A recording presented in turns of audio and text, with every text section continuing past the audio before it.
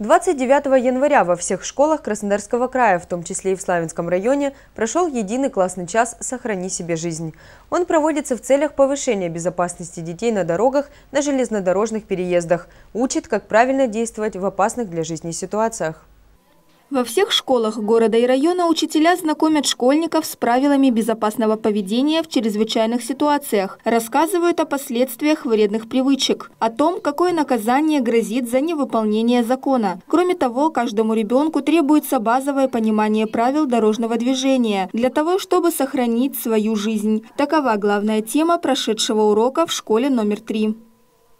Э, целью этого классного часа является формирование у детей безопасного поведения на дороге, объектах, объектах железнодорожного транспорта, правилах поведения при угрозах террористического акта и ответственности за заведомо ложное сообщение о готовящейся угрозе. Символом единого классного часа «Сохрани себе жизнь» стало сердце. В начале урока ребята разделились на две команды. Игры, конкурсы, викторины – все это ожидало ребят во время классного часа. Классный час у нас будет проходить в виде э, игр, интерактивной беседы, э, будут э, просмотрены опыты, э, связанные, например, с курением. Да, у нас будет опыт этому посвящен. Идея нашего классного часа – это формирование культуры безопасности школьников.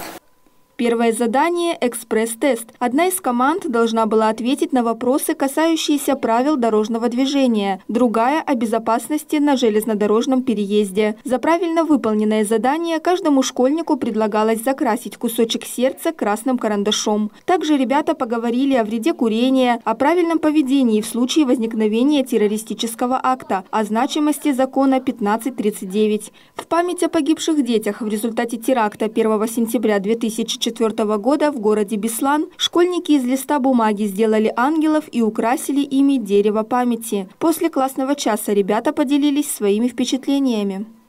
Я узнала еще о большей э, степени вредности э, курения.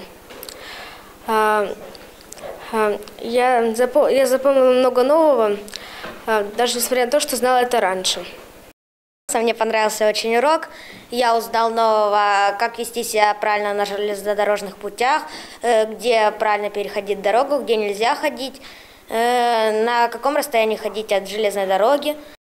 Понравилось больше всего то, что э, мы работали всем классом, сообща по командам.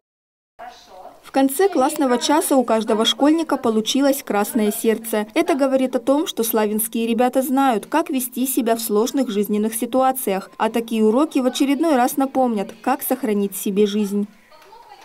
Надежда Неткачева, Георгий Калинин, программа «События».